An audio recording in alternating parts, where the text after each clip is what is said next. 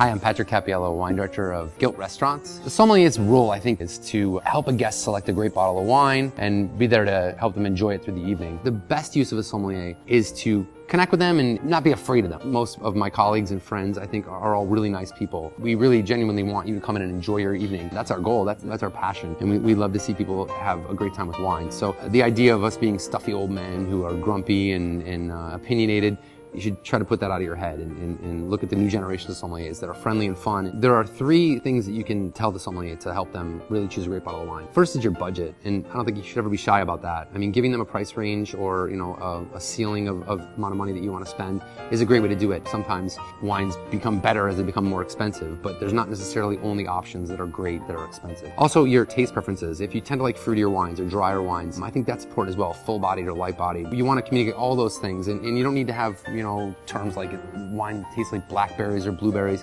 Do more general terms. If you want it spicy, great. Say you want it spicy. If you like it earthier, tell them you want an earthier style wine. The era of smartphones has been such a help for us. I see people often taking pictures of labels and then having those labels in their phones and being like, you know, I drank this wine one time at this restaurant and this was really, really great. That really opens the door for us to be able to use those wines as a launching pad into other wines. I think in the end, best using a sommelier is to look at them as being somebody who's there to help and someone who really cares for your experience, not only wine, but with your dining as well.